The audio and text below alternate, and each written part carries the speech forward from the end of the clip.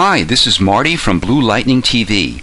Vintage baseball cards are one of the most sought after collectibles in the world. I'm going to show you how you can make your own custom made vintage baseball card of anyone, like the one I did here of Joey White. As you can see, it has all the nuances of a real vintage baseball card, including authentic looking scratches and stains to simulate age and use.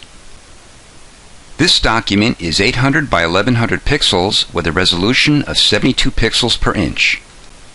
You can see dozens of high-resolution vintage baseball cards in Google's image search. Just choose the one you like, save it onto your computer, and use it as your template. For this tutorial, we'll use this card of Rocky Bridges. You'll need to download an image of old paper or cardstock to use for texture. I went to cgtextures.com for this image. We need to get it into our baseball card document, so just click and drag your cursor onto the tab of the file, and when you see the file open, with your mouse or pen still held down, drag it anywhere onto the image. You can see in the Layers panel that the paper is now added as a separate layer to our document. Let's rename the layer Paper Base. Click on the template layer and move it to the top. Go to the left of the screen and choose the Magic Wand tool. For this image, I'm choosing a tolerance of 40 pixels. Click on the white background outside of the card. It made a selection of the white area that surrounds our card, then press Ctrl Shift I or Command Shift I to invert the selection. We'll save the selection as Card Shape. Choose your elliptical marquee tool and click on the center of the circular frame while holding your Shift key. Now drag out to make a circular selection. If you need to move the selection, hold down your Shift key. We'll save the selection and name it Circle. Go to the marquee icon again, but this time choose Rectangular Marquee. Let's make the selection of the orange rectangular shape inside the card. Click on the top left corner and drag your cursor to the opposite corner. Click on the Refine Edge button, and I'm going to feather it out one pixel. We'll save this selection and name it Inside Shape. So let's quickly review our saved selections. The card shape is the shape of the card itself. The circle is the circular shape that will frame our photo. And the inside shape is the orange rectangular shaped background. Because the circular frame sides are cropped off in the card, we need to make a selection of that shape. To do this, press Ctrl or Command as you click on the circle channel.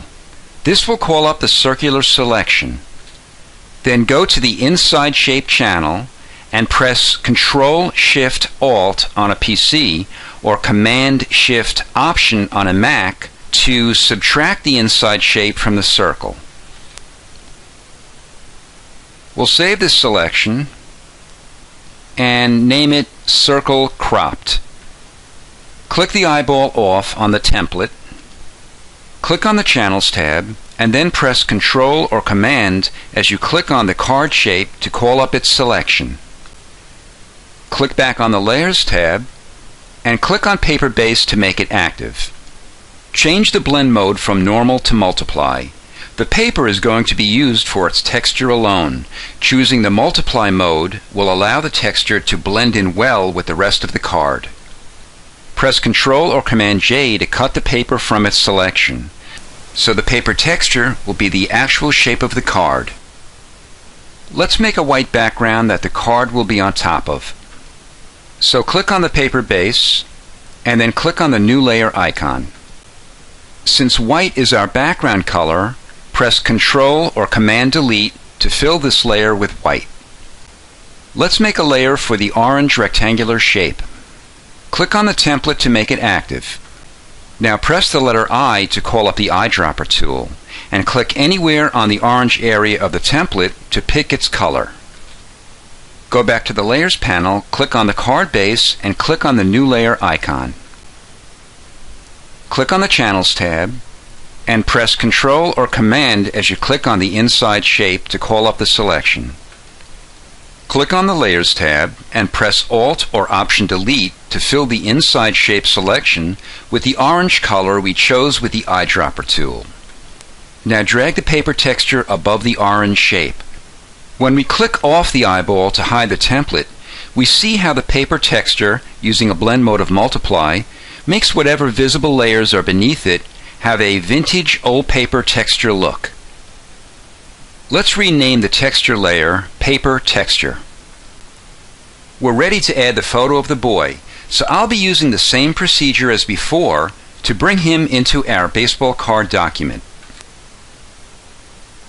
Click on the Channels tab and click on the circle cropped channel as you press Control or Command. This will call up the cropped circle selection. Click on the Layers tab and click on the Layer Mask icon. This created a layer mask from the selection. Then click on the chain link to unlink the photo from the layer mask. This allows us to move around the boy's photo inside the cropped circular frame of the layer mask. Click on the boy's photo to make it active. Press the letter V to call up your Move tool and move the boy into position. And then press Ctrl or Command T to call up the transform. To fit the entire transform onto your screen, press Ctrl or Command 0. Go to a corner and click as you hold the Shift key. Then drag out to enlarge the image. If you want to move it around to another position, just use your Move tool.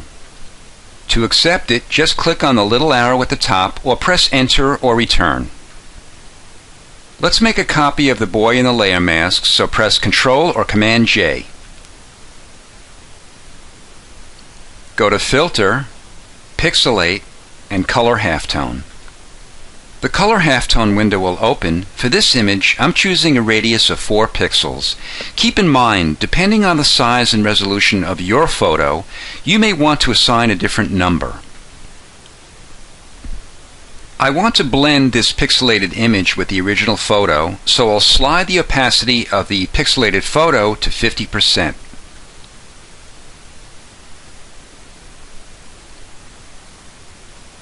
Let's merge these two layers together, so press Ctrl or Command E and choose Preserve, so we'll keep the layer mask intact.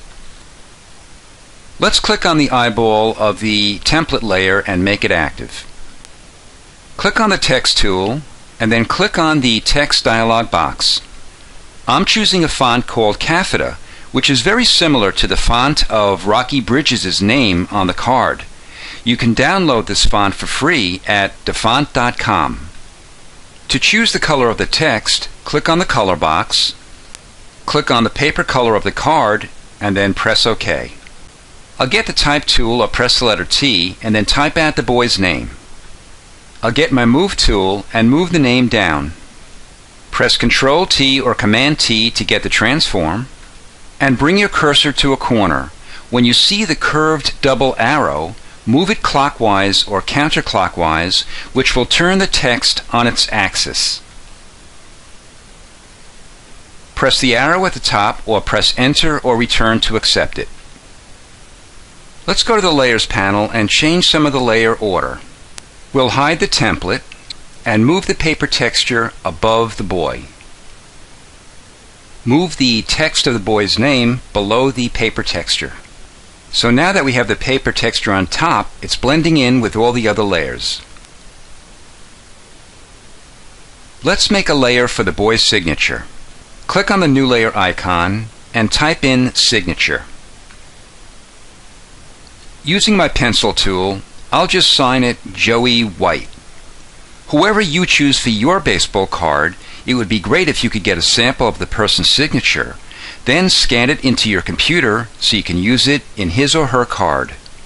To resize and reposition the signature, press Ctrl or Command T to call up the transform. I found the Little League baseball logo on the internet by just typing in Little League in Google. I'll drag it up into our baseball card tab and drag it onto the file. The next step is to cut the logo out from its background. To save time, I won't be going over how to do that in this tutorial. It's best to do this without the paper texture over it.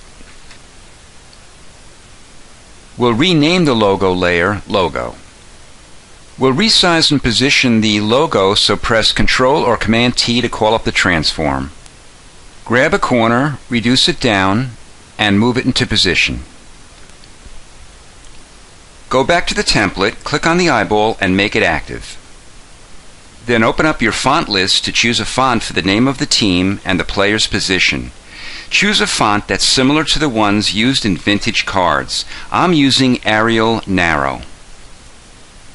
Type in the name of the team, and then go up to the color box and click it. I want to pick the blue color of the Little League logo, so I'll just click on it, and it automatically changed the Yankees text into the same color. Press the letter V to get your Move tool and move it into position. We'll put a stroke around the text, so press FX and then Stroke. The Layer Style window will open. Click on the color box, and I'll click on the white color. I'll change the size of the stroke to 2 pixels.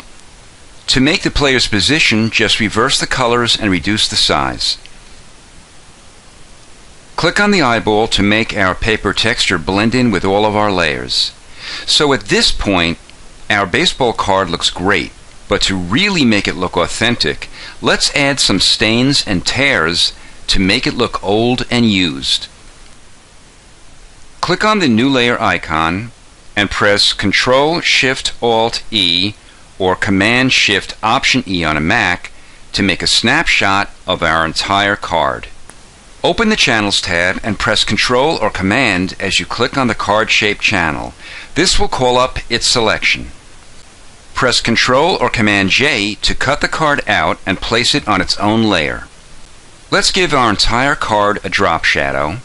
So click on the FX icon and choose Drop Shadow. The layer style window will open. I'll choose 8 pixels for the size, 6 pixels for the distance, and the opacity is 30%. The blend mode is multiply and the color is black. I'll zoom in so you can see the result. Click on the new layer icon and open up channels. Press Ctrl or Command as you click on the card shape to call up its selection. Go back to Layers and click on the layer mask icon to make the selection into a layer mask. Click on the empty layer to make it active. Click on the little arrow next to the brush icon to open up the brush selections. When the brush window opens, click on the arrow in the upper right. This will open up your entire list of existing brushes. I downloaded the brushes we'll be using from Brusheezy.com. The first set of brushes is called Ink Drops which can be used pretty much for any type of watery stain. A window will pop up asking you if you want to replace or add this set of brushes to your brush window. For now, I'll choose Append. Scroll down until you see the last set of brushes in your window and choose one of them. Make sure the size is what you want. Go to an area of your card and simply click down with your mouse or pen. Don't be concerned it's black. We'll adjust the opacity and blend mode later. Notice the stain only appears inside the card. This is because the layer mask we made is blocking the stain from appearing on the white background. Choose another brush and continue applying different brushes in this set until you're happy with the result. Go back to the Layers panel and change the blending mode to Soft Light and then bring down the opacity to 60%. We're ready to apply the scratches in our paper. Go to the paper texture, click on it, and press Ctrl or Command J to make a copy. And now drag it all the way up to the top. Change the blending mode to normal and press the layer mask icon. Notice the layer mask has a black edge around it. This is because the layer mask is matching the paper texture's shape. We need to invert the layer mask, so press Ctrl or Command I. Let's open up the second set of brushes I downloaded. It's called Marks and Scratches. Choose one of the brushes from this set. Notice the size is 1200 pixels. This actually is the default size when it downloads. You can change the size if you want, but I'm going to leave it. Choose white as your foreground color. Because the brush is so huge, I've gone to an area far away from the edge of the card, and now I'll click down. It immediately reveals the paper texture through the layer mask. I'll go to the opposite side of the screen and click down to reveal more scratches. So here is our final vintage baseball card. Using the methods I've shown you, have fun making your own based on an actual baseball card from the past. This is Marty from Blue Lightning TV. Thanks for watching.